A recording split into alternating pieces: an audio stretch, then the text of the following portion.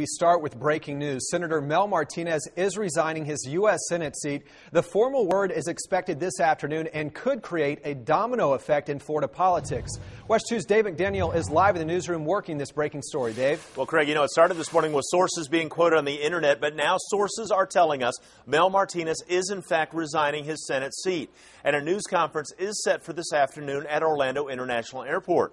Mel Martinez said months ago he would not run for office again, but news that he possibly won't even finish out his term is coming as quite a surprise. We do not know why this sudden change. Martinez had this to say in early December about his decision not to seek re-election.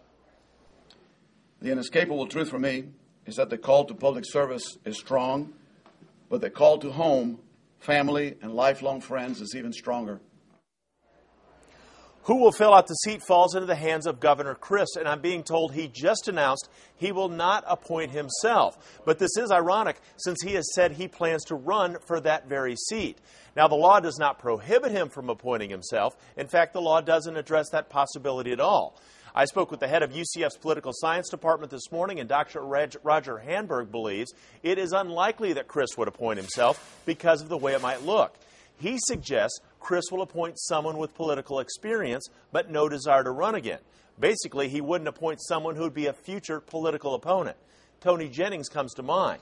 Now, again, Crist has just said he will not appoint himself, but I did speak this morning with Dick Batchelor, a local Democratic analyst, and he believes Crist might step down, and Lieutenant Governor Jeff Kottkamp would appoint Crist so he could run as an incumbent. And I talked to Tico Perez. He's a Republican analyst. He says that would not surprise him. But again, Charlie Crist, the governor, is saying he will not appoint himself, but whether or not he might step down and have the lieutenant governor appoint him after he is elevated to governor, this could be wild as it all plays out.